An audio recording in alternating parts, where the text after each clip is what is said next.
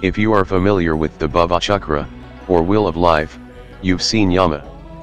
He is the monstrous being holding the wheel in his hooves. In Buddhist myths, he is lord of the hell realms and represents death, but more than anything else he represents impermanence.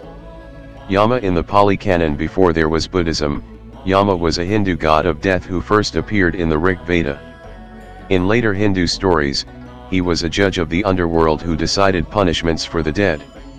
In the Pali Canon he holds a similar position, except that he no longer judges, whatever will befall those who come before him is the result of their own karma. Yama's chief job is to remind us of this. He also sends his messengers sickness, old age, and death into the world to remind us of the impermanence of life. For example, in the Devaduta Sutta of the Sutta Pitaka, Majjhima 130, the Buddha described an unworthy man seized by the wardens of hell and brought before Yama. The wardens declared that the man had ill-treated his father and mother, and had ill-treated contemplatives, Brahmans, and the leaders of his clan. What would Yama do with him? Yama asked, Did you not see the first divine messenger I sent to you? The man said, No, I did not. Have you never seen a young, tender infant lying prone in his own urine and feces? Yama asked. I have, the man said. The infant was Yama's first divine messenger, warning the man he was not exempt from birth. Yama asked if the man had seen the second divine messenger, and when the man said no, Yama continued, Haven't you seen an old woman or man of 80 or 90 or 100 years, crooked and leaning on a cane, miserable, broken-toothed, gray-haired, bald, wrinkled and blotchy? This was the warning that the man was not exempt from old age. The third divine messenger was a man or woman gravely ill, and the fourth was a criminal punished by torture and decapitation. The fifth was a swollen, rotting corpse. Each of these were messengers sent by Yama to warn the man to be more careful with his thoughts, words, and deeds, and each was ignored.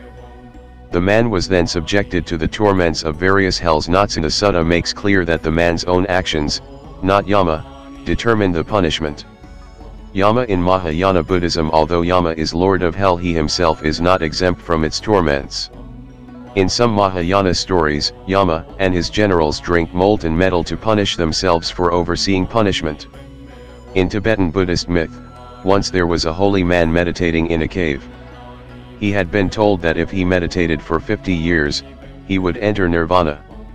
However, on the night of the 49th year, 11th month, and 29th day, robbers entered the cave with a stolen bull, and they cut off the bull's head. When they realized the holy man had seen them, the robbers cut off his head also.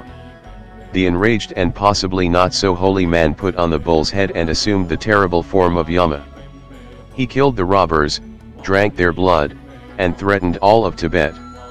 The Tibetans appealed to Manjusri, Bodhisattva of wisdom, to protect them. Manjusri assumed the wrathful form of Yamantaka and, after a long and fierce battle, defeated Yama. Yama then became a Dharmapala, a protector of Buddhism.